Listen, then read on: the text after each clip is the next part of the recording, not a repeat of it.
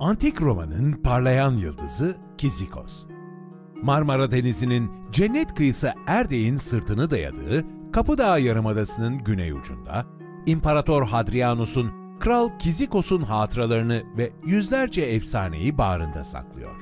Milattan önce 7. yüzyılın ortalarından itibaren Anadolu'da İonya'nın altın çağıyla birlikte koloni kentleşmeler başlamıştı. Kizikos tam da bu dönemde Miletos kentinin bir kolonisi olarak ortaya çıktı.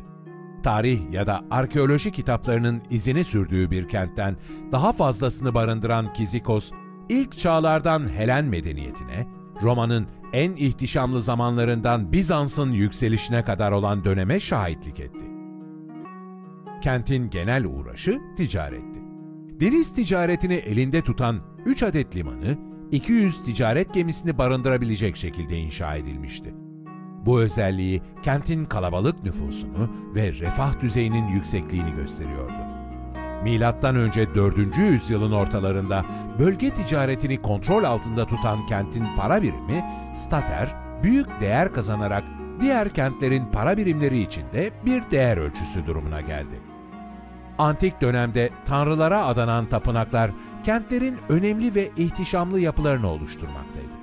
Bu dönemde dünyanın en büyük tapınakları mitolojiye göre tanrıların tanrısı olan Zeus'a adanıyordu. Kizikos'taki Zeus tapınağının yapımına da mimar Aristeinetos denetiminde milattan sonra 1. yüzyılda başlandı. Tapınak uzun bölümü 16, kısa kenarı 8 sütundan oluşan Korint düzeninde doğu-batı yönünde oluşan 7 galeri üzerine inşa edilmekteydi. Fakat milattan sonra 117 yılında Kizikos'ta meydana gelen deprem kenti tahrip ettiği gibi tapınak yapımını da durdurdu. Tapınağın kaderi Roma imparatorları tarafından değiştirildi. Antik dönemin en büyük imparatorluğuna sahip olan Hadrianus ve Augustus gibi Roma imparatorları kendilerini Zeus'la özdeşleştiriyordu. Bu nedenle Zeus'a adanan tapınaklar söz konusu imparatorlara da adanabilirdi. İmparator Hadrianus milattan sonra 124 yılında Kizikos'a gelerek tapınağın tahrip olduğunu gördü. Bunun üzerine maddi yardımlarda bulundu ve sayesinde tapınak tamamlanmış oldu. Kizikoslular tapınağı Hadrianus'a adadılar ve böylece Kizikos imparator tapınağına sahip ender kentler arasına girdi. Agora, antik kentlerin merkezini oluşturan alan. Kentin refah seviyesi ve nüfusu sebebiyle Kizikos'ta iki adet agora vardı. Bunlardan biri Hadrian Tapınağı'nın hemen kuzeyinde, ikincisi ise Hitos Limanı'nın doğusunda Sur Duvarı'nın bitişiğinde yer alıyordu. Kent sakinleri için bir toplantı yeri görevi gören Agora, toplumsal yaşam, iş ve siyasal olaylar için günlük bir sahne durumundaydı. Kizikos Agorası'nda kutsal yapılar, sütunlu yapıların oluşturduğu stoalar, sanatsal değeri yüksek çeşitli büyüklükte tapınaklar, idari binalar ve heykeller vardı. Bu alan kentin gelişmiş ekonomik refahının göstergesi olarak birçok alışveriş noktasını da barındırıyordu. Milattan önce 6. yüzyıldan Büyük İskender dönemine kadar olan süreçte Kizikos'un elektron sikkeleri her yerde geçerli olan uluslararası nitelikte bir paraydı. Sadece bu özelliğiyle bile kentin ekonomik gücünü ve bu ekonominin gerçekleştiği çarşının önemini anlatmaya yetiyordu. Kizikos çarşısında çoğunlukla üzüm, zeytinyağı, şarap, balık, vücut yağı, parfüm ve merhem gibi ihraç ürünleri yer alıyordu. Tiyatro, Yunanca seyirlik yer anlamına gelen teatron sözcüğünden türemiştir.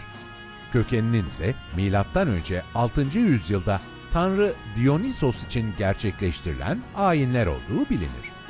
Kizikos tiyatrosu doğal araziye oturtulmuş olması ve orkestranın yarım daireyi biraz geçmiş olmasıyla tamamen Helenistik özellikler gösteren bir yapıdaydı. Helen döneminde inşa edilen tiyatro, Hadrianus döneminde deprem nedeniyle yeniden inşa edilmeye başlandı ve bir diğer Roma hanedanı olan Antoninler döneminde de devam etti. Ticari güzergahlar üzerinde önemli derecede hakimiyete sahip olan Kizikos, bununla birlikte farklı kültürlerle de oldukça sık iletişim kurabiliyordu. Bu durum Kizikos tiyatrosunda antik Yunanlıların önemli tragedyalarının ve dramalarının sahnelenmiş olduğunu gösteriyordu.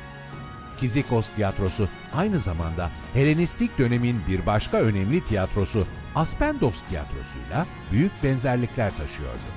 Kizikos Kolezyumu inşaatına milattan sonra 117 yılında meydana gelen depremden sonra başlamalıydı. Pergamon Kolezyumu gibi dere yatağına inşa edilmiş olması nedeniyle gladyatör oyunlarının yanı sıra deniz savaşı oyunları için de kullanıldı.